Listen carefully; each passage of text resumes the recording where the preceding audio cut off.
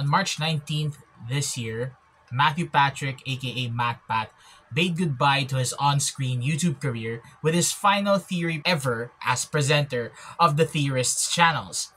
In it, he celebrated the work of Hungarian American mathematician and physicist John von Neumann in his and his fabled game theory. Yes, it was a 50s concept way before it was a YouTube show. And to MatPat's credit, as the genius that he is, he definitely thought about tackling it. Now, in a nutshell, game theory stressed the importance of cooperation, conviction, forgiveness, and honesty in gaining trust. And it ranges from day to day life to geopolitical issues and everything in between. If you're interested in how MatPat explained it, uh, you can actually check his final theory video. I may check. I may put it out there uh, at the top or in the video description if you're watching this on YouTube. And perhaps watch all six endings because, yes, he left us all with one final lore. But you may wonder, why am I connecting game theory with the cycling scene in the Philippines? As you see in the thumbnail or in the title of this video. Because if you've been living under a rock right now, it's as worse as MatPat's chaos ending. Hi, Post Brodian here. I just wanted to uh, share a little bit more about the video that I'm editing right editing right now, and um, I forgot to mention that Veritasium also uh, created a video a few months before MatPat even announced his uh, exit on uh, as, as presenter of the theorists channels about game theory. So um, MatPat admitted on his final theory video that he based his uh, research on uh, Derek's uh, video about game theory. So that's collaboration in its uh, at its best. So that's that. I may also uh, share to you uh, a MatPat exit aftermath video uh, wherein I theorize on MatPat himself, not the theories that he um, he's doing. So let's just say this is a this is more of a closure for my for me uh, now that MatPat is retired. So that's that. And also, I just wanted to uh, update you that uh, he did uh, came back on Style Theory for creators in fashion. So I'm also uh, linking that uh, fashion show in the description below, just in case you wanna you wanna watch it after this. So that's all I wanted to say, and let's go back to the video.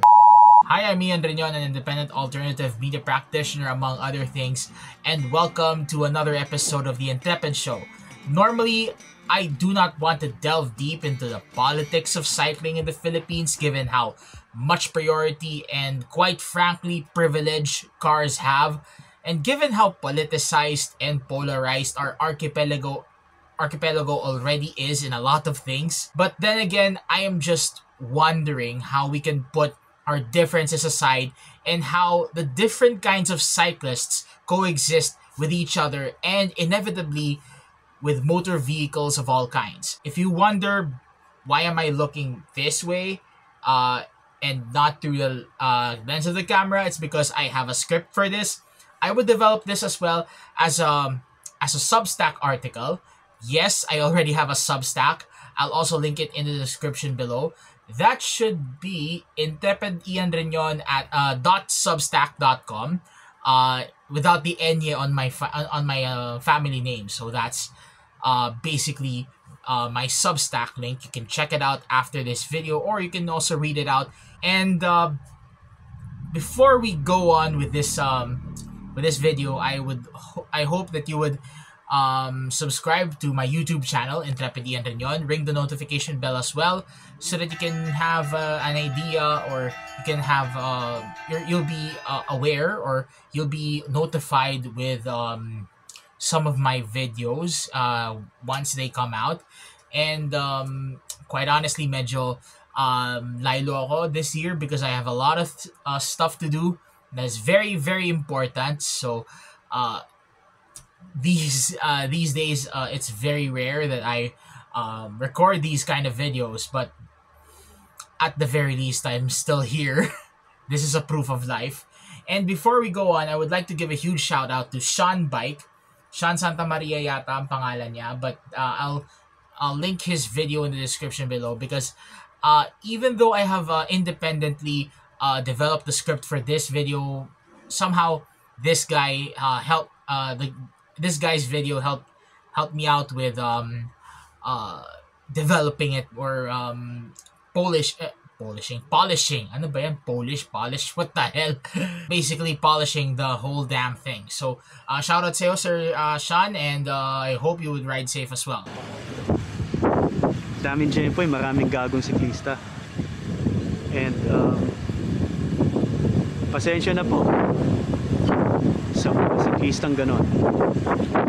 Now for this video, I would be dividing the topics into at least seven, several, the seven, several main points of discussion. Cycling as competition and recreation, mountain and gravel enjoyers uh, doing their thing, bike commuting and active transport, bike safety and advocacy, gatekeeping, and the problem uh, newbie cyclists face with all all these shit going on in the cycling community here in the Philippines. Let's start off with let's just say uh, default uh, kind of cyclist, and these are the roadies, the idiots, and the simps. Let's face it, many of the younger cyclists, most of them road cyclists, or um, cyclists who use mountain bikes as uh, as road bikes wanted to go on two wheels because they wanted to race and they wanted to be picked for their talent. The most basic thing they do is to go on cycling friendly locations or at least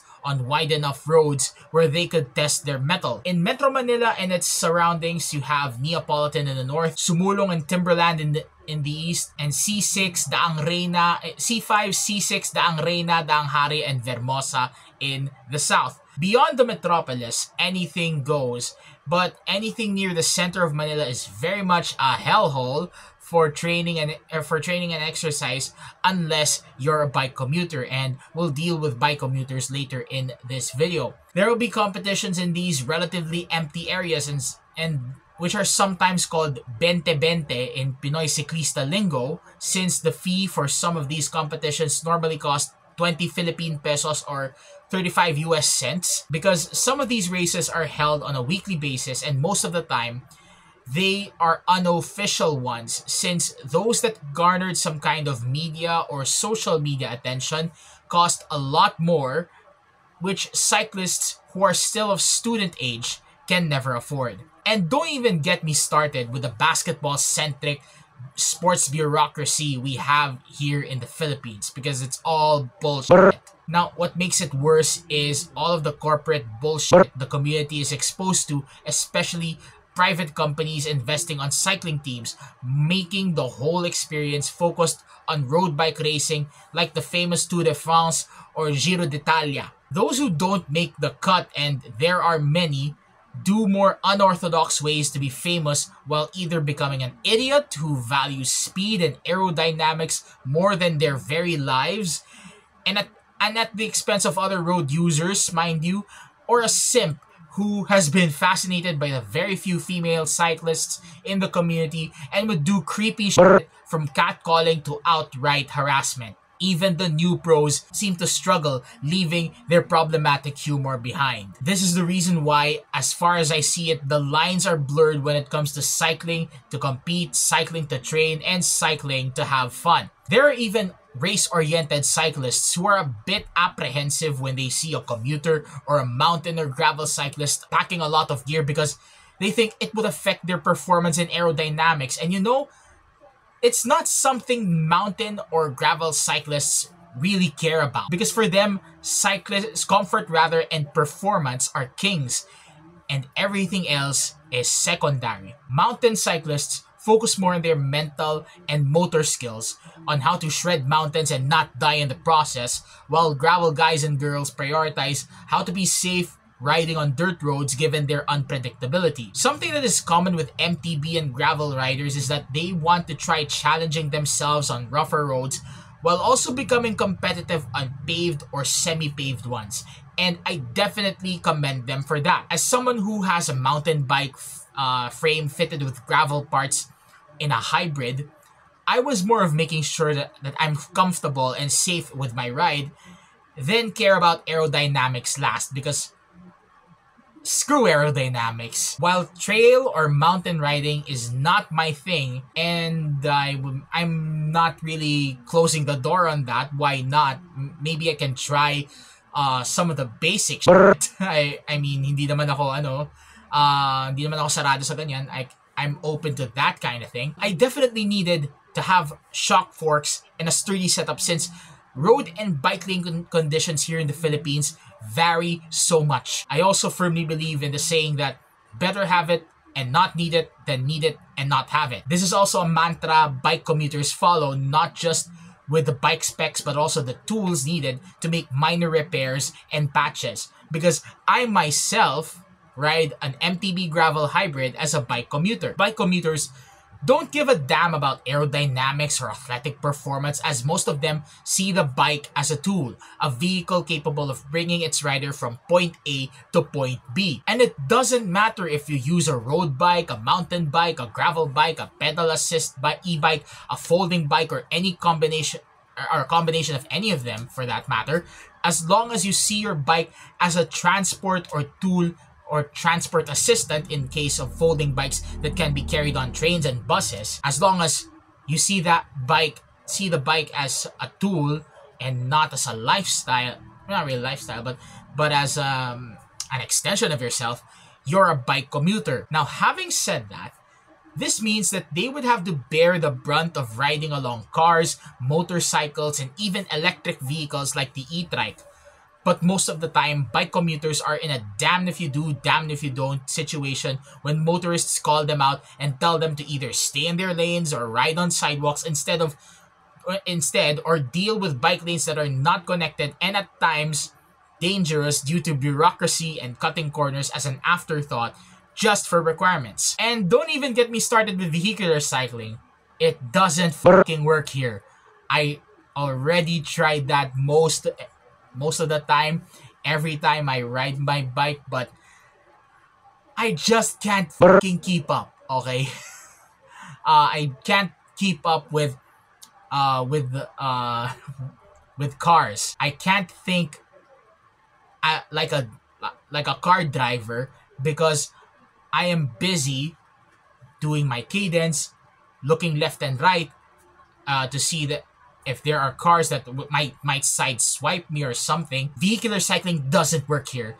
Don't get me started with that. That is why, as a bike commuter, I need those shock forks.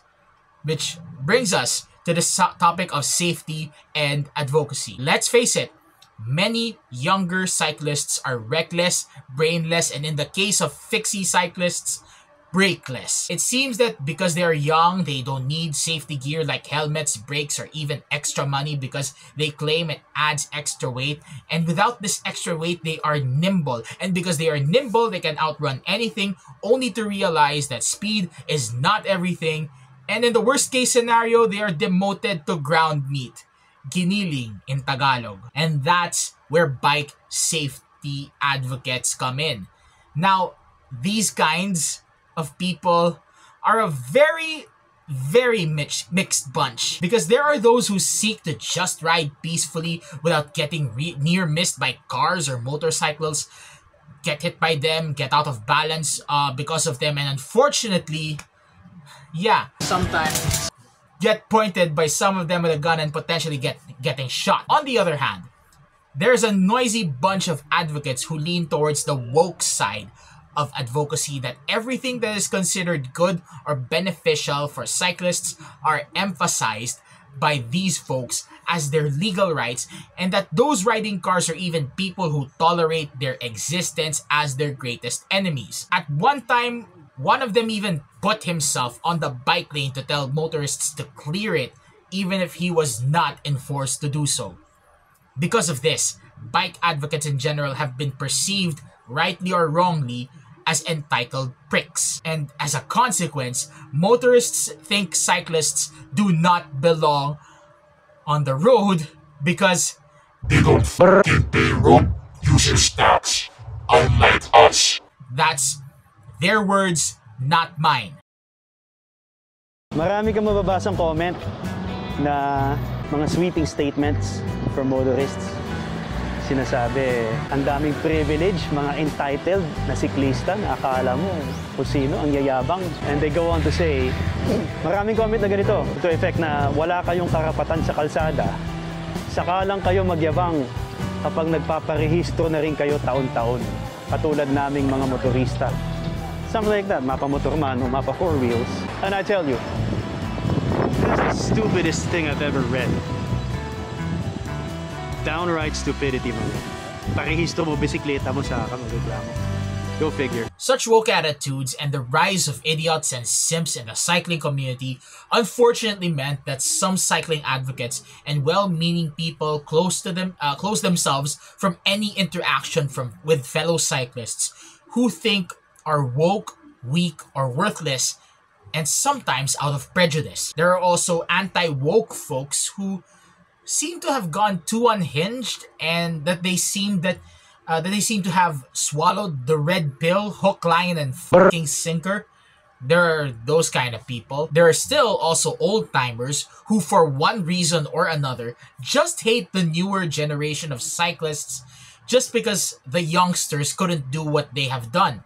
For example without naming names there is this person that some famous cycling creators interacted with who to this to his credit uh, pioneered long distance bike touring across the Philippines before the age of the internet. One time, the guy ranted on a significantly younger fema- female cycling creator who bike packs the Philippines just like him, and he said that she stole stole his ideas. And frankly, such antics and attitudes were quite ungentleman un- ungentlemanly for my standards. Even so, for my good friends uh, AJ Perez and Jay Aruga, both of them already have a, a show called The Sentinel. I would uh, link the Facebook page for The Sentinel. I am not sure if they also have a YouTube uh, YouTube um, profile or YouTube uh, channel. If ever they have, I will link it in the description as well. But their show is primarily is primarily on Facebook. Uh, for all I know, it's every Saturday, 9 p.m. Philippine Standard Time. So that's um uh one one in the afternoon UTC. So yeah, uh, that's 1300 UTC, I think. Yeah, that's uh that's the time there. Uh so yeah, do check out um AJ and J for their uh AJ and J, what the hell? Um, for their show called The Sentinel, I would definitely recommend you guys um uh watch that if you don't want to be that kind of uh that kind of uh, uh red pill guy even though you're against the wokes if that's your thing yun lang yung masasabi ko doon anyway the last laugh in this discussion was on the lady because she just bike packed uh, herself to the Mount Everest base camp and has since gone on a bike uh, to Sri Lanka and Korea. So quite honestly, it's really um it's really uh the best revenge for this girl. So uh shout out to you, ma'am, and uh I hope you have a safe ride uh out there. But going back to the old man, let me say this to be charitable to him. I do understand where this guy is coming from because prior to my cycling adventures, I was involved with the propagation of the Catholic faith online and in the university that I attended. I admit that I became bitter because I was the one, I was rather one of those who planted the tree but someone else ate the fruit. Ako ang nagtanim, iba ang kumain. That kind of thing. But since the guy also visits churches just like what I do during long rides or warm up ones for the old purists his age, and perhaps due to the benign and collaborative attitude of my peers in the online ministry I was involved with, let me say this. I eventually realized that what I have done contributed to something larger than myself. And you know what? I'm largely at peace with that because if I if I really uh if I really have a grudge on that, it's just gonna be freaking heavy, okay? So that's that. And it's such a shame that he can't realize this guy that I'm talking about, he can't realize that same thought in the cycling community just because he single-handedly pioneered long distance bike rides and he wasn't credited for it since he was ahead of his time and everything pre- predating the internet is considered lost. I do hope that the guy would at least appreciate the thing he pioneered without boasting about it. Finally, there are people who are just new at the hobby or aspire to use cycling as part of one's workout, adventure, commute, or sustainable commitment, or just enjoy being on two wheels as it clears the mind from all the bullshit that plagues humdrum everyday life and do not want to be involved in the fucking drama although he is con- concerned as to why cyclists are at each other's fucking throats. These people, or these are the type of people rather, who have the most seldom rides or riding times in terms of frequency because they just have something else to do. They are concerned if they could still arrive at their destination in one piece during the very few free times they have to hit the saddle. Sadly, these are the people who easily get discouraged about cycling, not only because of the current transportation environment, but also because of the infighting in the cycling community. Let's just say these people are just screaming in in their brains, I just wanna fucking ride my bike. So, what now? You know, when I wrote this script that I am reading right now, I suddenly realized that what I just said or written in this case in response to a certain legend act- is actually a fruit of the von Neumann Patrick concept of game theory. Yeah, I'm also crediting MatPat in the development of the concept concept as he and his community of theorists were instrumental in the importance of having fun and learning at the same time. Game theory stipulates that players must cooperate with each other to one, have a good time, two, be firm and call out any deviations to the rules, three, give chance to erring players, and four, be honest in playing. Only then can trust come naturally. And when trust comes naturally and not as a result of uneasy compromise, only then would a community grow. Besides, we can't play that philosophical game forever. You know, we are finite, okay? We are finite beings. And speaking of that document from the Vatican, yeah, we do not have infinite dignity, okay? Uh, I'll leave it to the theologians. We can't play that philosophical game forever. And we should eventually realize when our time is up. Just like what MatPat realized on January 9th, 2024, when he first announced to his intention to retire as presenter to all four major theorist shows game theory, film theory, food theory, and style theory. I don't love the fact that Steph and I have been work first for over a decade, where I'm sitting down at dinner with my best friend and we're talking about business logistics. Or we're talking about animatronic toes. I miss the days where I could just sit down on the couch with her and play video games, and it's not for content. Or I'm playing a game and I'm not thinking about what theories are gonna come out of that. I miss it. My life has changed in the last 13 years. I, I mentioned Ollie before. He's the coolest little dude, and he's getting older by the minute. And I watch him, and he has so much fun. And he is so much smarter than I was when I was his age. He also probably knows the FNAF lore better than I do, which is a problem that I should probably address at some point. But honestly, I want to be able to spend more time with him. So far, if you hear this, Mr. Patrick, Tom, Lee, Santi, and Amy are holding on their own. So, the ship is safe with these four. And you know, we still see MatPat, uh, or his hand, on all of the new theories these four hosts present. Since, surprise, surprise, he is the big boss of Theorist Media, with his wife Stephanie as his business partner, second in command, and best friend, and amazing mother to their son Ollie to boot. talk about relationship goals, guys. Hands down. But you know, I just hope that Matt and Steph would soon decide to have a permanent play buddy for Ollie. So, let's apply game theory to the cycling scene in the Philippines. So you have the roadie, the shredder, the gravel guy, the commuter, the advocate, the legend, and the normie. The last guy I didn't talk about, um, I didn't talk about, it's the um the normie, the guys who just say I just want to ride my bike. The legends are the ones who are gatekeeping.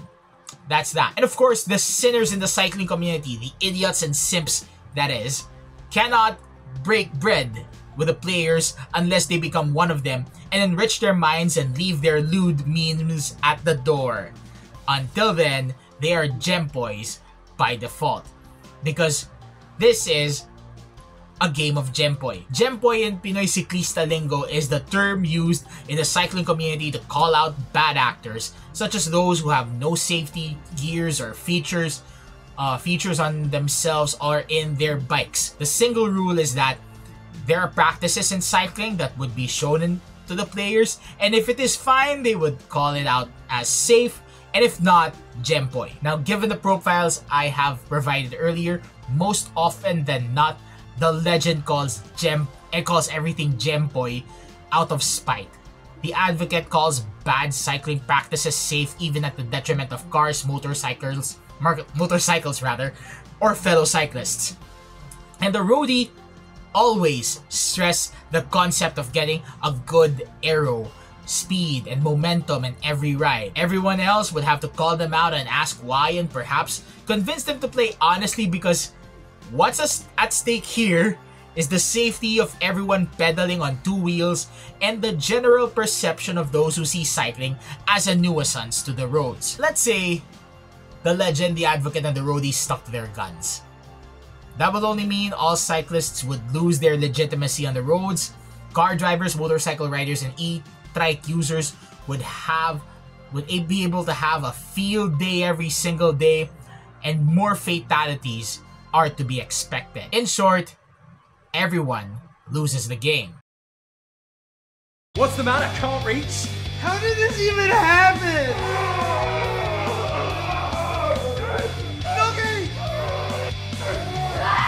But let's say the legend loosened up and played fairly. The advocate reconsidered his answers, and the roadie understood that not all cyclists need to go fast and aero.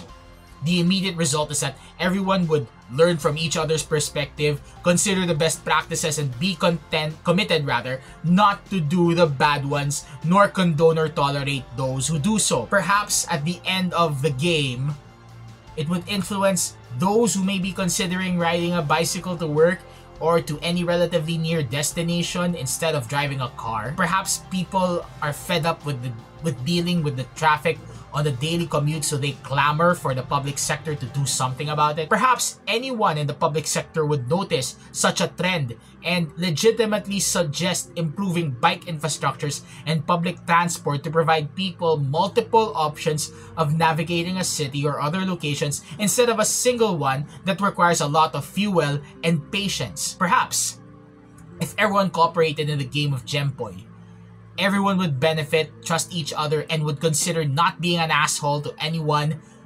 online and on the road. In those circumstances alone, would it be considered a win? Only then would all of us realize how we made our indelible mark in the cycling community and how we would be content with all of that until we hopefully climb the holy mountain and never come down again. Remember, it's just a theory. A game theory. Thank you. Thank you for watching. But hey, let me tell you that this episode is over. Kala nyo ah. Kala nyo ah. Gagawa ako ng ano ah. Gagawa ako ng spoof na ano, ah, closing spiel ah. Kala nyo. anyway, with all that said, this is Intrepid Ian Riñon reminding you to at all times, be the salt of the earth and the light of the world. Until then, look alive, stay alive, be kind to yourself and to each other. If you're a cyclist, wear a helmet. That's my helmet right there at the background. And remember, that's just a show. An intrepid show. gotcha! And as always, thank you for watching. From here in Intrepid HQ, ride safe, and see you next time. Ian out. Ang init talaga, grabe. Woo! Ay, grabe. Ah.